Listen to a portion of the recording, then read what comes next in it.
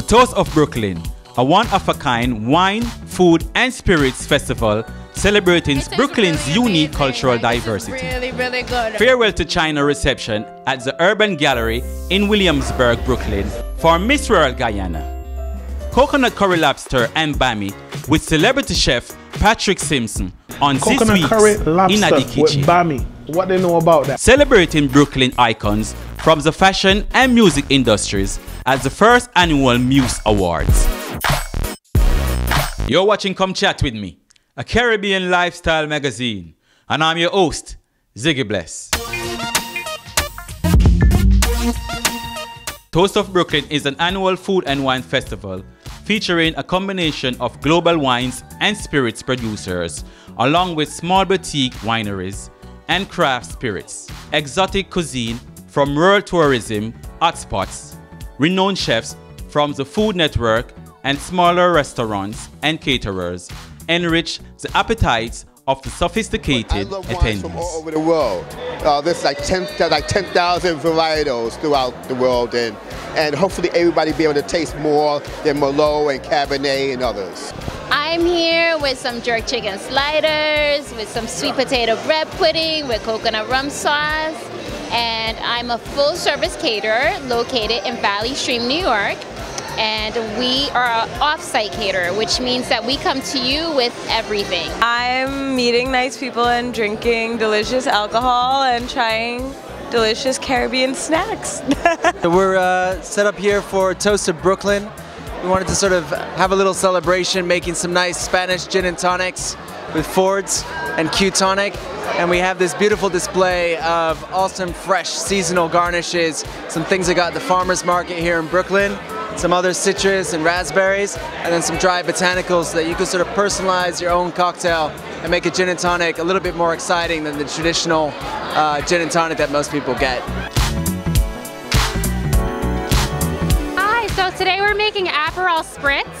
So it started off as the official drink of the summer and now it's like the drink of all seasons. So basically Aperol is an Italian orange liqueur. It has lots of citrusy flavors, you're gonna get some bitters. So we do half Aperol, half Prosecco, and a splash of club soda. A lot of people come by and they're like, oh my God, I had this in Italy. I went to Venice, I went to Capri, because this is like a big culture there. Like you go there, it's like Aperol Spritz everything.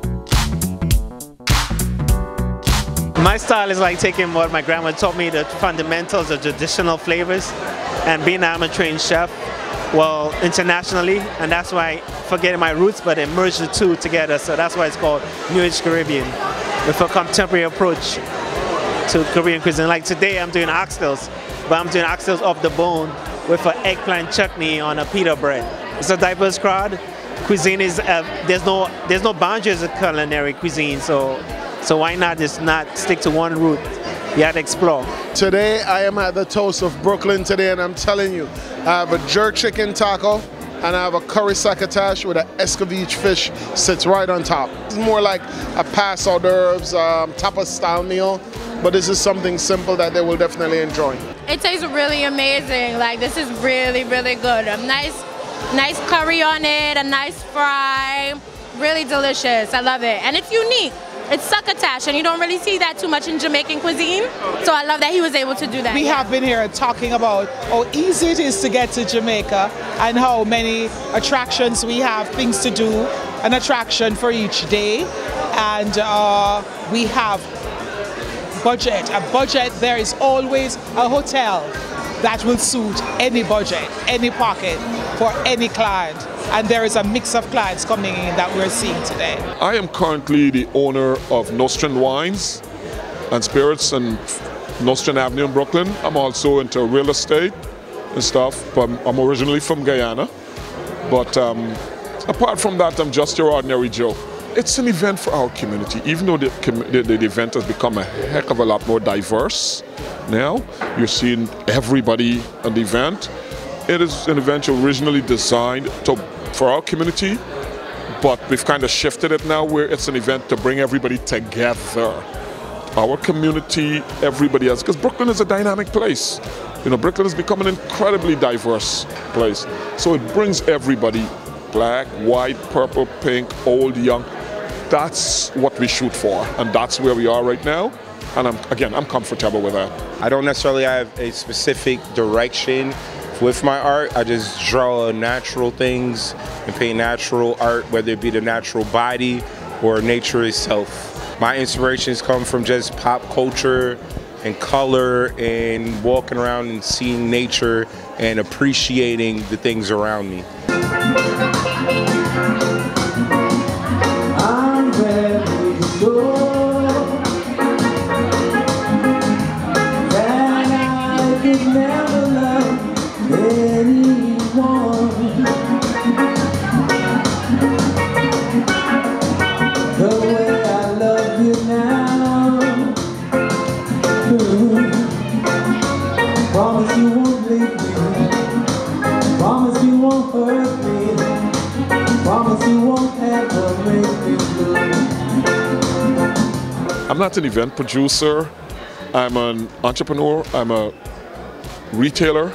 I'm, you know, so I do this event for the community. So I don't do this event necessarily to go out there, you know, to, to, to make money. It's done for the community. The proceed goes to not-for-profit. The proceeds for this year's event is going to the Caribbean Tourism Organization Foundation.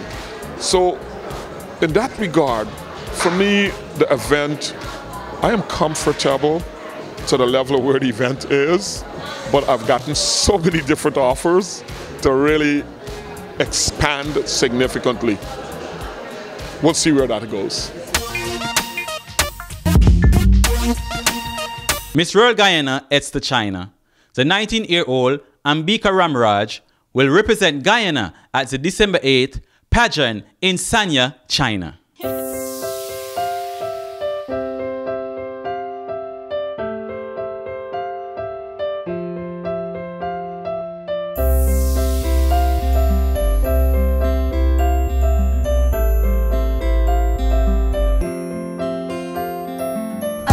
I should be the next Miss World Guyana because not only do I possess the attributes to excel on the international stage, such as athleticism in sports and fitness, skill in talent, and elegance and grace in top model, but I am compassionate.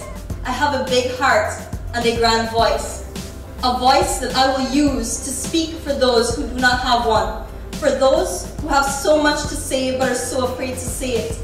I have a voice that will empower men, women, and children, anyone who has ever felt lost like I had felt. Anyone who needed someone there with them like I did. I will be the voice for our people. I will be the voice to make a change in our world. I want to just focus a little bit on introducing this amazing young woman who I've had the, um, who I, whom I was very fortunate to meet and work with closely for the past couple of months. Um, I actually flew down to Guyana and was working there part-time as we conclude the most important element of the Miss World competition, which is a Beauty with a Purpose project, dealing, uh, uh, dealing with childhood trauma and um, has opened my eyes to, to some amazing things. I want to step out on the international scale with my Beauty with a Purpose. I really want to advocate for the importance of bettering your mental health.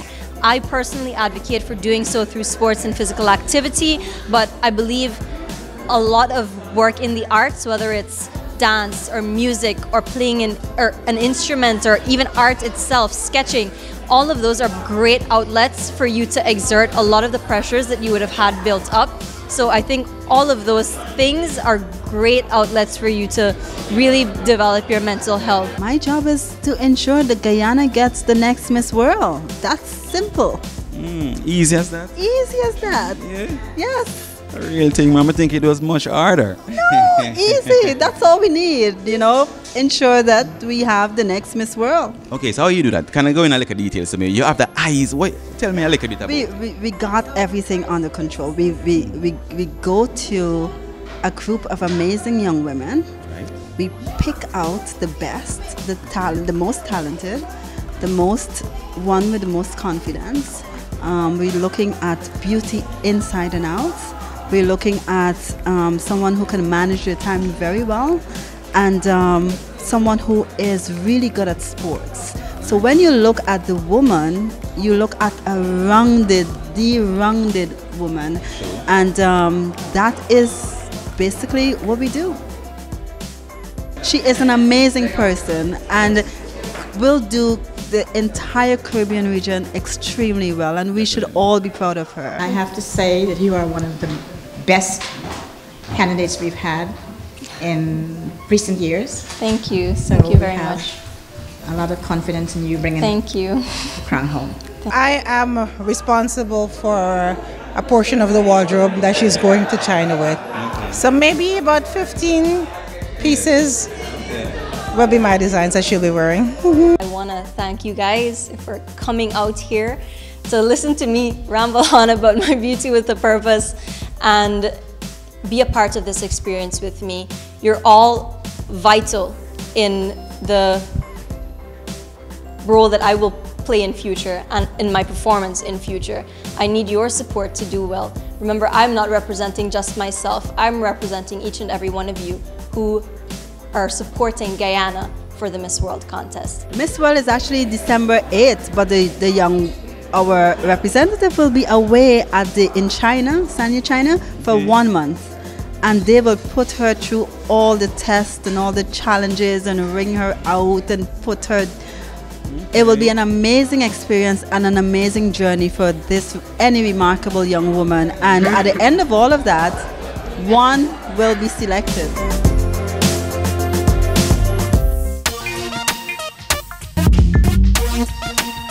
All right, guys, this week I have something in store for you. And which part you there? In at the kitchen. The boy, Chef Patrick. This week I'm doing a coconut curry lobster. And this is gonna be off the chain because you know what I'm gonna put inside of it too? I'm also gonna put some bami. That's what I'm talking about. We always do the fish, steamed fish with the bami. I'm gonna do it with the lobster. Coconut curry lobster. And listen, follow me. You wanna see what I'm gonna do because I'm also gonna use my favorite brand too, Walker's curry paste. It is off the chain. This you wanna make sure that you get. All right, guys, so follow me and let's cook together.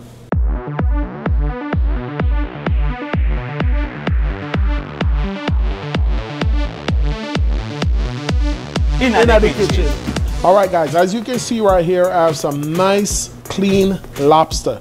This lobster is already, look at the claws. You can just imagine the size of this lobster. You see how big the claws is? Looking real good, looking real pretty. We have our fresh garlic, we have our tomato, we have our scallion, we have our onion, we have our black pepper, Old Bay, salt, and pepper. And we have our Walkerswood curry paste right here. A little bit of garlic powder and a little bit of pepper flakes. We have our coconut milk and we have our Walkerswood curry paste. I'm gonna take the lobster, put it on the cutting board.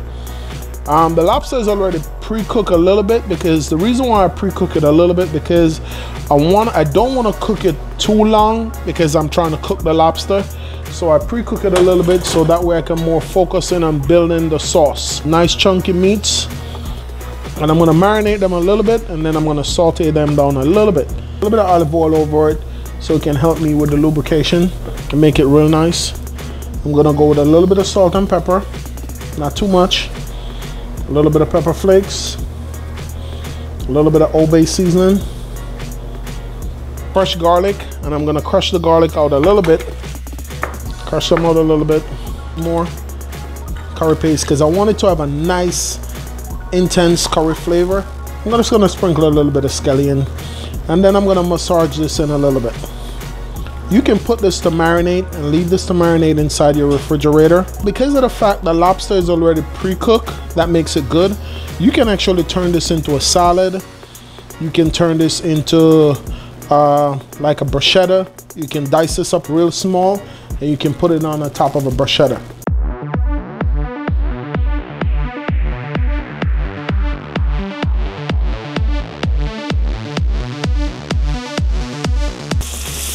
Gonna saute this bad boy up a little bit. Green bell pepper. A little bit more curry. Beautiful. And then I'm gonna go in now with my lobster. Nice. I'm always gonna twist stuff up a little bit. I'm gonna go with a little bit of spinach. Because like I said, you always do steamed fish and you do it with the bami. I'm gonna do it with a lobster.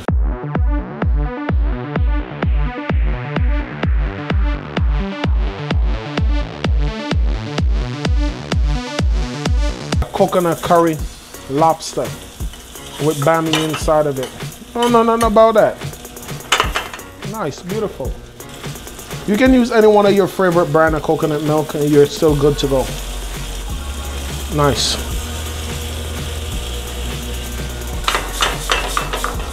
Beautiful. See how pretty that looks. Just let them stay there. Bubble. Nice. Let them reduce down, become nice and thick. And you're good to go. And we're gonna go right over into plating and presentation.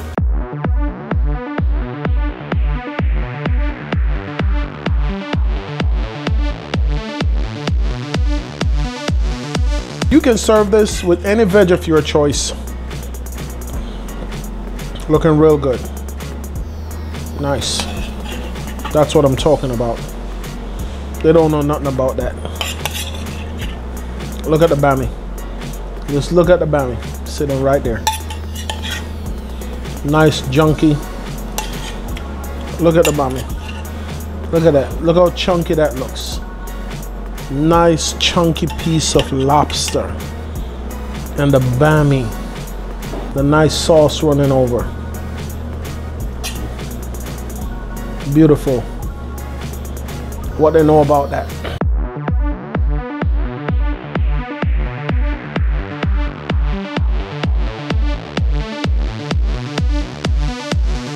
All right, guys, we did this together. And as you can see, this looks real good, flavorful, tasty and you're gonna so much enjoy making this dish and I want you to make it and enjoy it. And as you can see, I got some bami inside of it, coconut curry lobster with bami. What do they know about that? Because people always doing the steamed fish with bami. So now we're doing it with lobster, coconut curry.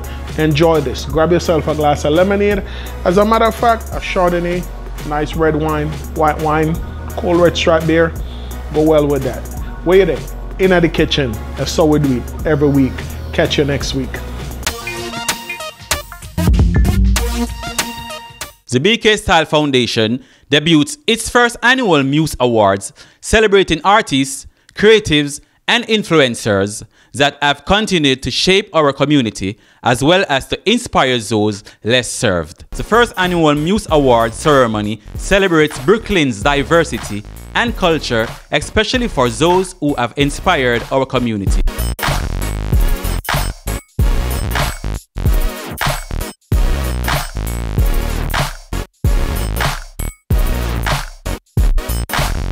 Hi, my name's Claire Perez. Um, we're here tonight honouring different people from Brooklyn. Uh, the reason we're honouring them is for lots of different reasons. They're really iconic to Brooklyn. They've done a lot for the Brooklyn community. Um, we've got some great honorees coming tonight. We've got over 10 different honorees, all from different industries. We've got people from the art industry, we've got people from the music industry, we've got people from all over Brooklyn. So they've really all made a massive impact. My name is Ira Levy, and I am really happy to be here as one of the first inductees to the Muse Awards. I'm receiving an award for production design and events.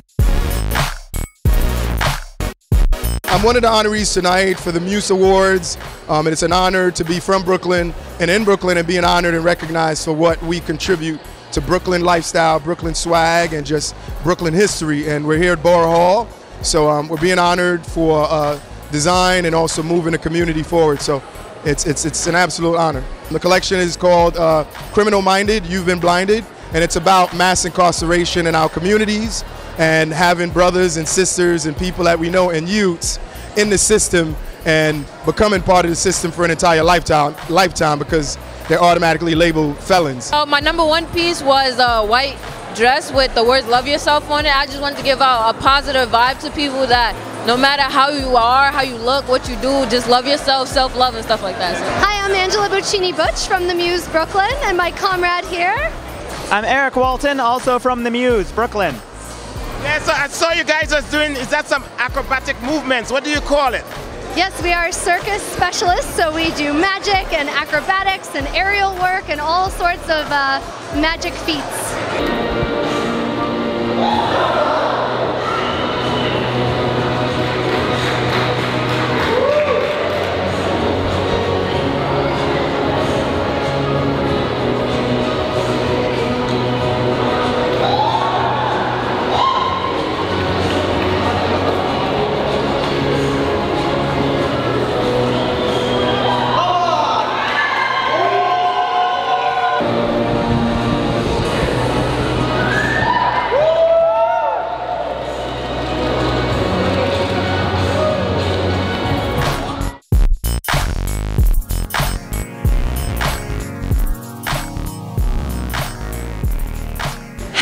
My name is Sabrina DeRay, and today we are a part of the Muse Award. I, today I will be working for Moshood, that is the designer. Moshood uh, is a designer that is always is the example of lifting while you climb.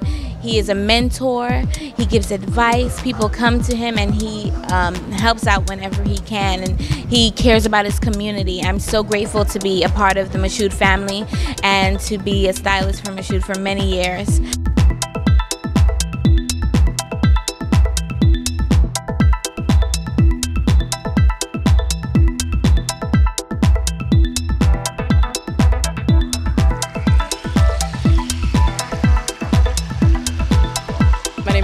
Miriam Abdul Kawi and I am a model for Moshood.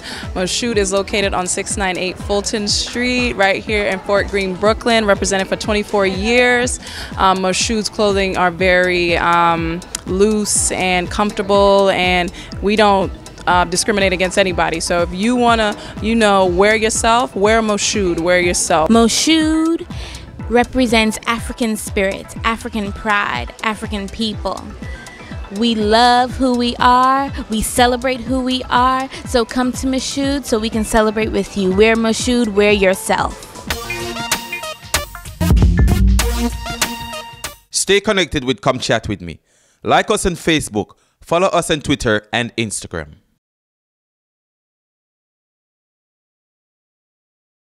Thanks for watching Come Chat with me. Tune in each and every Sunday right here on CIN. See you next week.